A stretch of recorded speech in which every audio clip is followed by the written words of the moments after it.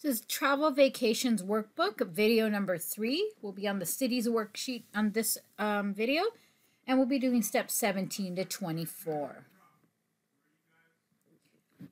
Step 17. On the cities worksheet, click cell F4 and enter a formula that will subtract the departure date B1 from the return date B2 and then multiply the result by the rental car per day value F3. So I'll go ahead and click here. And I want to remind you about the order of operations.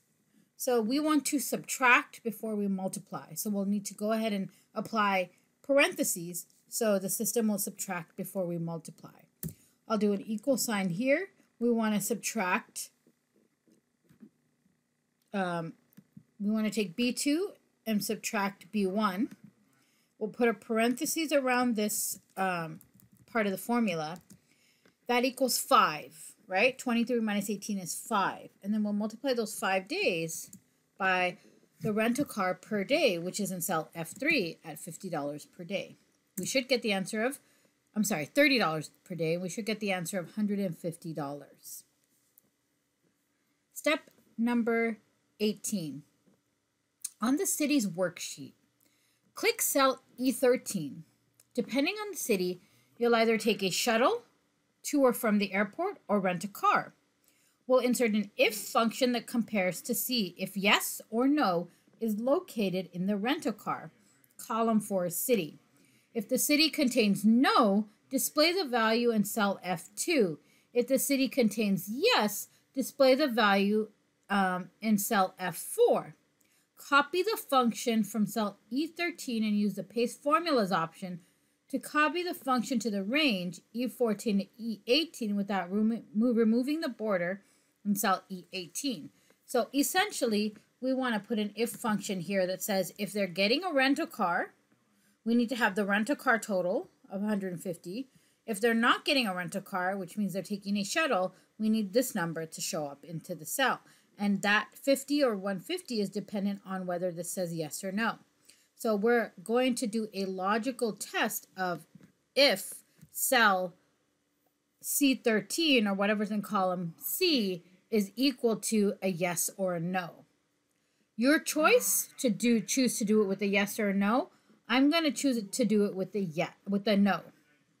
I'm going to go ahead and click on the formulas, click on the logical tab, click on the if function.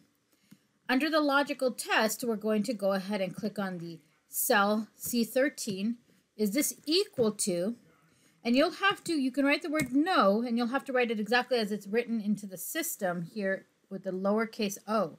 I want you to see what happens if I just go into the value of true. It's going to tell me that this doesn't make sense.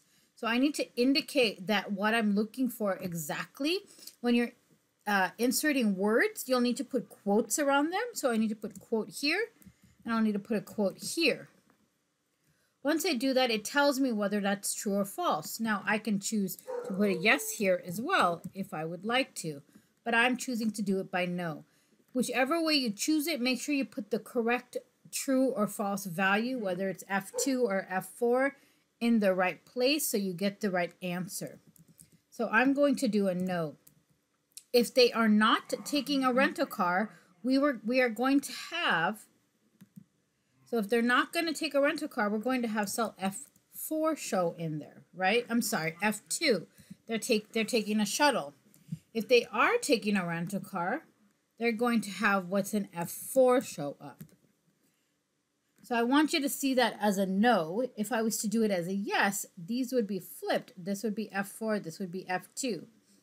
So I'm going to do a yes here. And here I would come over here and change this to 4, and I would change this to 2. Now, either one is correct. It doesn't matter if you want to do a yes or a no. But I'm actually more comfortable with the no because I just feel like it's easier for me to mentally process. If it's a no, then they're taking a shuttle. If it's a yes, they're getting a rental car. And I'll go ahead and click OK. And you'll see that pops into this um, formula here. Now I want you to also make sure that you have absolute reference these because these are going to be automatically um, copy the formula. So the next part says to make sure that we display this formula in cells E14 to E18 without um, losing the format of the border here. So if I was to just do an automatic fill, you'll see that this border gets deleted. So I actually want to select this, um, I want to copy this information, I want to copy the cell. Then I want to go ahead and select all of these cells here and I'm going to do something called a paste special. So there are two ways you could do this. You can right click here and go up to your paste special options and choose the correct one here, which is the formulas. Um, and you could go all the way down and see all the other options there are here. You could also go up to the home tab and go to the paste option and you can choose to look at the paste specials. Now what I want to do is I want to paste not only the formula, but I also want to paste the formatting. So is, there is a way to paste formulas and formatting. It's this one that looks like a um, percentage and it has an FF, FX. Um, if I was to just paste the formulas, you'll see that the last one, E18, doesn't necessarily show me the um, formatting of accounting. So I'd have to go back and fix that, which isn't a problem. If you want to, you can. But if I choose this one, formulas and formatting, it'll paste not only the formula to give me the correct answer for that row, but it'll also give me the format, which is the color, the accounting format, and all of that. And I still won't lose the border of the spreadsheet. So let's move to step 19. On the city's worksheet, click cell F13. The lodging is based on a multiplier by city type. Some cities are more expensive than others. We're going to insert a VLOOKUP function that looks up the city type B13, compares it to the city, the COL range of EA7 to B10, and returns the COL percentage. Then multiply the result of the lookup function by the total base lodging B5 to get the estimated lodging for the first city. Copy the function from F13 and use the paste formulas option to copy the function to range F14 to F18 without removing the border in cell F18.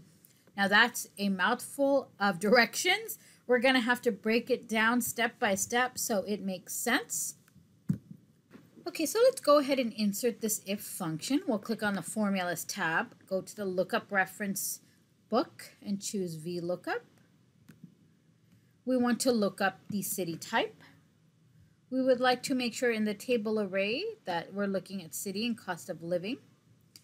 And in the column index, we were asked to return what's in column 2 here. I want you to make sure that um, before we click OK, you could click OK now or after that you have um, absolute reference A6 through B10 and click OK. Now we've returned the 1.25, which is in a decimal format, but we want to multiply that by the base of lodging.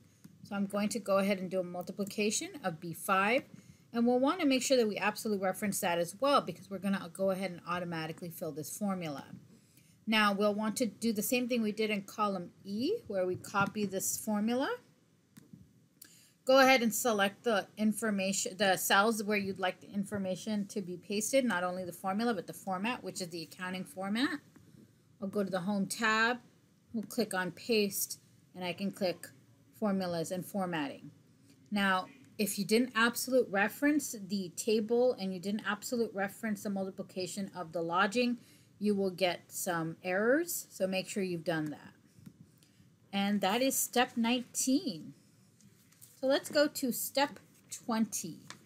On the city's worksheet, click cell H13 and enter the function that calculates the total cost for the first city. Copy the function in H13 and use the paste formulas option to copy the function to the range H14 to H18 without removing the borders again. So let's go ahead and click on the total cost and we're going to have to calculate the total cost for the first city. So what is the total cost? The total cost is equal to the sum of the person's airfare, their shuttle or rental, their lodging, and their meals. This is a simple sum function. I want to go ahead and make sure that I've inserted it correctly, which we did. We'll go ahead and copy that and we'll go ahead and select the place where we want all of that formula to follow. And again, we'll choose formulas and formatting.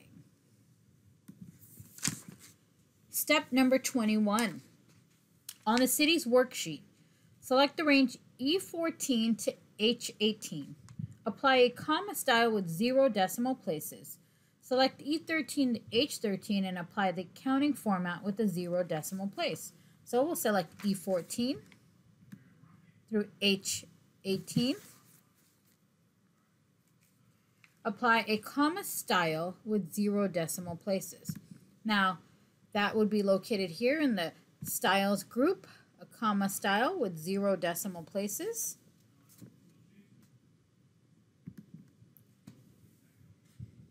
And then select range E13 to H13. You know, I made a mistake. I should have just selected 14, but that's okay. You'll see that mistakes happen and then you can fix them. Go ahead and click on the Home tab. Go back to the comma styles group or the styles group. And here we're going to go ahead and apply an accounting format with zero decimal places. Now you can choose the currency option here, um, which is zero decimal places. Or you can also go up here and choose the accounting format, which is right here, and decrease it to zero decimal places. Okay, step 22. On the city's worksheet in cell I2, enter a function that will calculate the average total cost per city. So we're going to do an average, a maximum, and a min in cell in column I here. In cell I3, enter a function that will identify the lowest total cost. In cell I4, enter a function that will return the highest total cost. So we're going to be looking at these cells, this range of information, which is cell H13 to H18, and we're going to do an average, a max, and a min. So I'm going to do average, and you can type it and just double click it. I'll select this group of data, this range, H13 to H18. Then we'll do a max. I'm sorry, a min.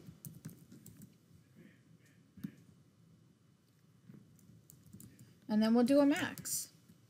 Now this is what you might do in any organization. So you have sort of some variables set to see what is max, what's a min, which are the most expensive cities, how can we cut back on travel, how can we cut back um, and save some money. All right, step 22, 23. Step 23. On the city's worksheet, select landscaped orientation, set a one inch top margin, and center the worksheet data horizontally on the page. So if I was to do a home, or, I'm sorry, a file and go to print, this is what my worksheet would look like if I was to print it. Now we are asked to move this from portrait mode to landscape mode. So one of the ways you can do it is in this area. When you go to the file, you can go to portrait here and choose landscape orientation. Now you'll see that everything is sitting on one page. We can also set um, our margins and center the worksheet data horizontally on the page. So all of that information can be located here in this page setup dialog box. Now I want you to pay attention to this dialog box. I'm going to cancel and go back out to the ribbon and show you where everything that we're doing can also be found there.